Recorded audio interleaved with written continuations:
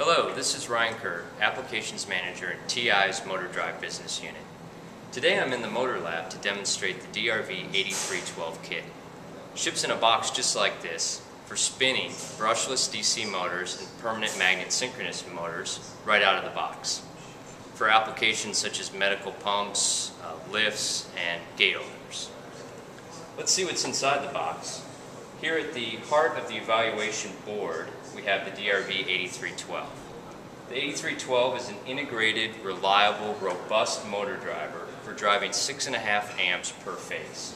As you can see, it's a very efficient part because it doesn't require any external heatsink. Around the DRV 8312, we have the C2000, which is on here on this control card, which is used to provide the high-resolution PWM signals necessary for precise motor control. It's also there to provide communications to the outside world via the isolated CAN and the isolated SPI devices up here on the top of the board. Also on the board we have power management ICs that are necessary for providing other voltages to the board from a single included 24 volt power supply.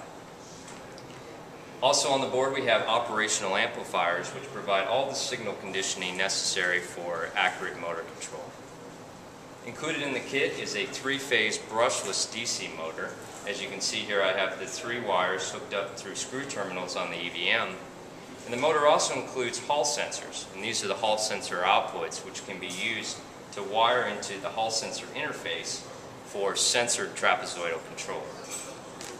Finally, the last thing in the kit you'll find is a USB stick, which has the included GUI as well as other documentation uh, for understanding the board. Let's get this motor spinning. Over here we have a GUI which provides three different modes of operation. It provides a sensored trapezoidal control for the brushless DC motor, which you can hook up the Hall sensors and, and immediately spin your motor. The other option, which I have configured now, is for sensorless trapezoidal control, which as you can see I do not have the wires hooked up. And the final option we offer with our GUI is for field-oriented control, which is a sensorless sinusoidal-based control for a permanent magnet synchronous motor. All I need to do is click one single button on the GUI, and your motor's off and spinning. To find out more about this kit, go to ti.com DRV 8312. The kit is available today for $299.